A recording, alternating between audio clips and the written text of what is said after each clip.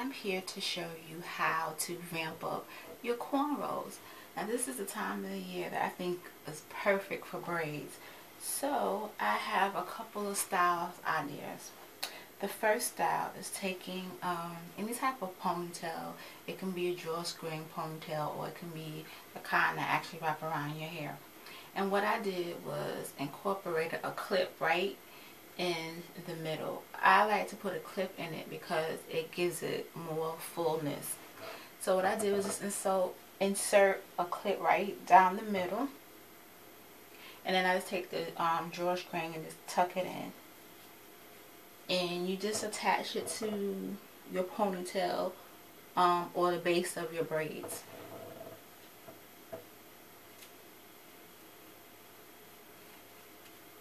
And what I do is just kind of finger comb it, just fluff it out a little bit.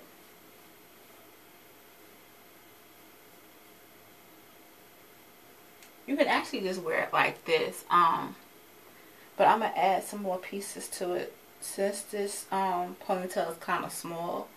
But um, if you like a small ponytail, you can just rock it like this. And now I'm going to do is just take um, some braid in here that I braided together and um, just pin it around the perimeter of the um, ponytail.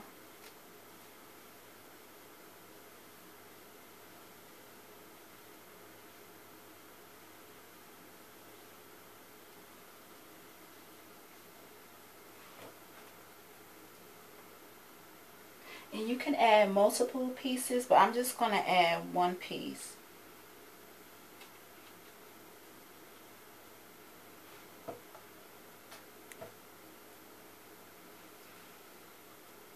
And you want to make sure that you add enough um, hairpins to hold it in place.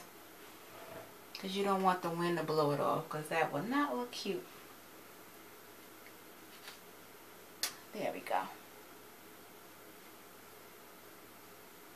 I'm just going to take it and just fluff it out and this is style number two.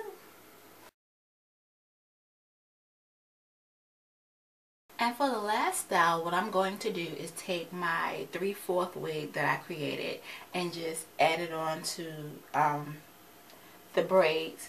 Now, if you have a, a unit that has combs in it, that'll be perfect because the combs will help to secure the unit and if you wanted to add hairpins as an extra um, source of protection you could.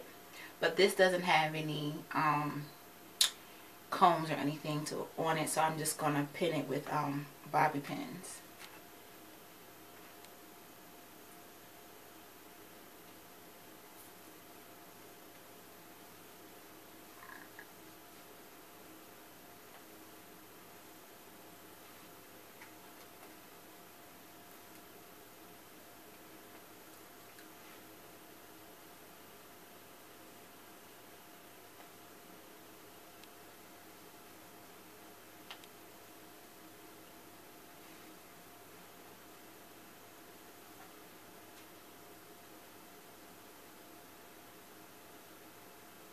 and you can take it and position it um, any way that you want.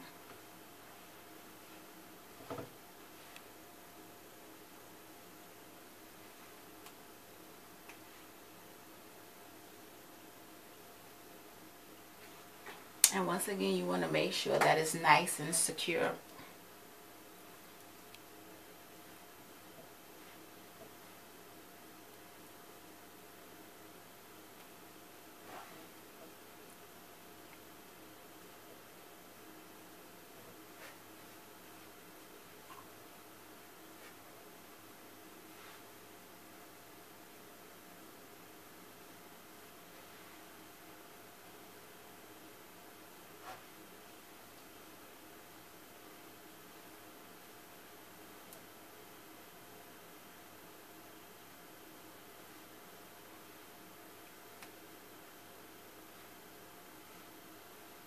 And this is style number three.